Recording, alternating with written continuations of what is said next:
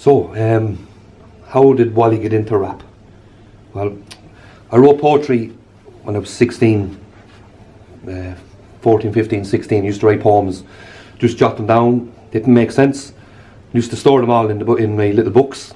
And then one night we were having a few drinks with a few mates and had a poem written about uh, certain in my, one of my exes or uh, something happened in work or something.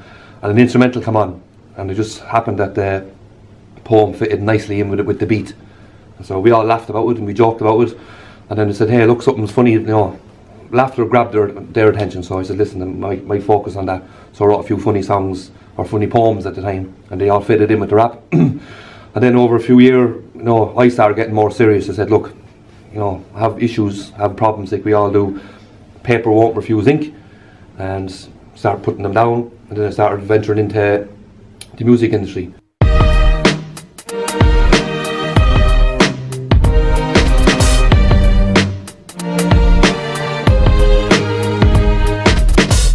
Growing up on a concrete street, second-hand clothes, dressing us up neat, kicking and throwing every candidate we meet at a passing fleet or a passing jeep. Living every day, yeah, on empty pockets. Hoping that my birthday will come like a rocket. Hoping that I get my broken bike a new sprocket, or maybe on the chance a new lock to lock it.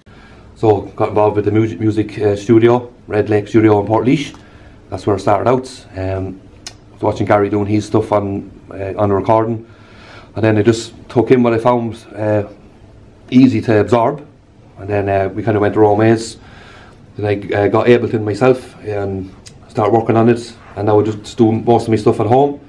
My stuff, my recordings I'm putting out now, they're raw.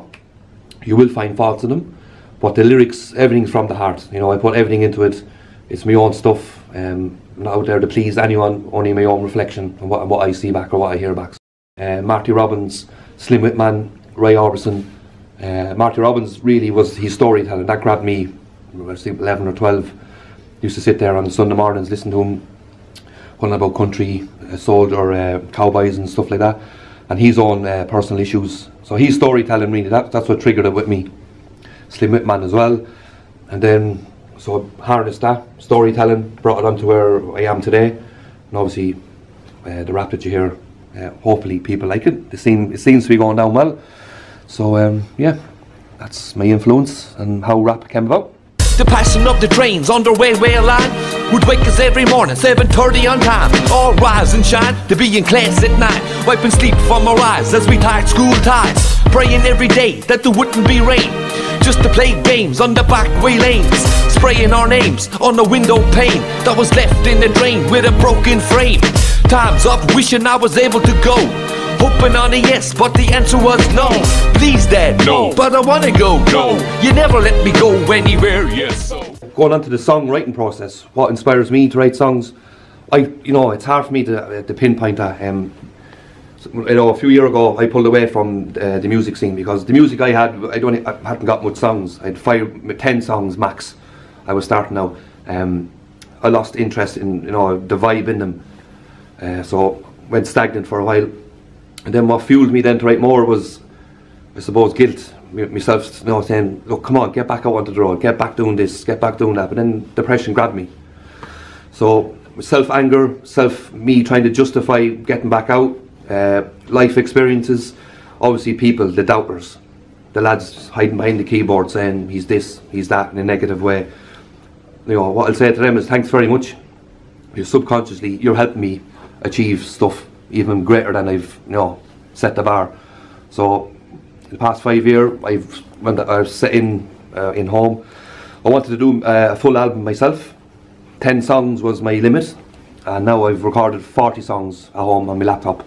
Nice little humble setting, laptop, microphone, audible or audio interface, and a mind full of madness, which I'm ready to get back out and show this nation what, what he's all about and where he's been. So let's not uh, sugarcoat the, the topic.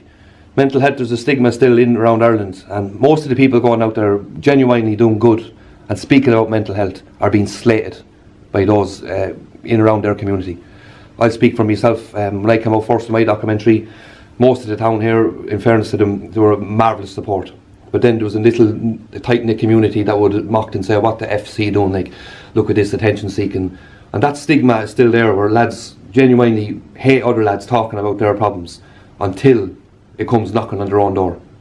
So that's the grey area. With me, I found uh, music, you know, channeled in there. Most of mental health is, you know, their thoughts manifested, their emotions that we create. With me, a blank piece of paper and a mind full of thoughts is my therapy. Get it out there and see what comes back. And then when it's set into a song, then the frequencies start to happen. The beats come about. You could have a nice high beat, oh, oh, or you can have the, the normal. You can put anything in between there, and then add in your symphony, strings, guitars, whatever. So that's my way of coping with mental health. Um, But Shadow Wonderwall became a person to know When I sat in my room after breaking the law He was right there beside me, right through it all When I lost all pride, he would catch my falls Oh, as we grow Time will show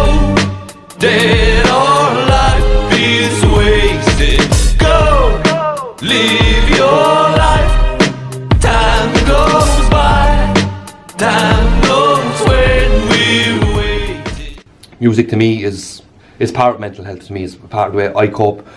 Other people have other avenues, but uh, to me, mental health is you know it's, it's important to me. I didn't know it at the time back then. I ignored it, but now it's it's even more important. You know, so we should look after it. Yeah, so like the old stuff, like so now they know me. Like when I shut off Main Street, that was a different different Wally, a, young, a younger Wally. I suppose um, I was only getting into the rap scene. It was new to me. It was nervous. It was chance of my arm really on some of them. But now, six seven years later, I've matured in my writing. Um, I've over forty songs written, and what I'd love to happen now is for me to get a band together, fresh new raw band is ready to get out there and rock the place. So put the shout out there if anyone's interested, uh, even vocals. Uh, give me a shout or contact the boys here on Damn It TV. Oh man, I go into a, a weird mindset writing songs. Um, I see myself.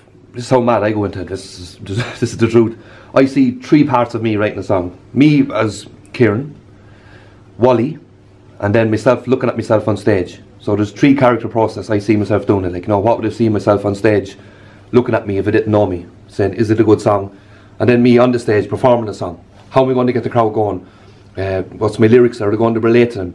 What's my tone going to be? What's the energy going to be? So I get sucked into it when you're writing the song.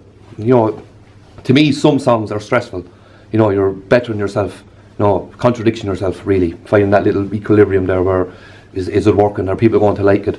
And then, you know, lately I just step back and say, so what if they don't? As long as I like it, that's the main thing. But obviously, the outcome I would like for you know the listeners to, uh, to like it too. Writing songs, if anyone's out there writing songs or venturing into the rap, there's one advice I can give you: do not show a song in process or in, progress to anyone. Don't let anyone hear it. Just finish the song, and when you're happy with it, then let it out. If that song's not, if you- I mean, if it's half finished and you show it to someone and you're happy with that, up to them. Someone could say something to you, say, "No, I know, I think you should do that," and then that's everything gone. It's gone off in a different direction. Stay true to yourself. Allow yourself to make mistakes and be prepared to be criticised, both constructively and destructively, because that's what you're venturing into. I'm hardened to all that now. People like my music, most people don't. It is what it is. So, to those out there who have followed me and are, who are getting into my music, I salute you. I Thank you for your support. And uh, let's get the show back on the road. Low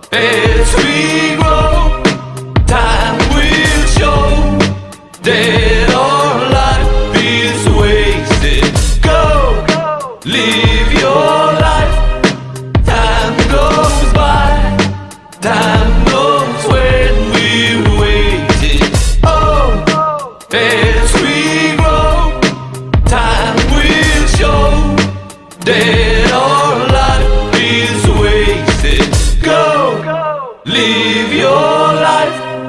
Time goes by, time knows when we're waiting.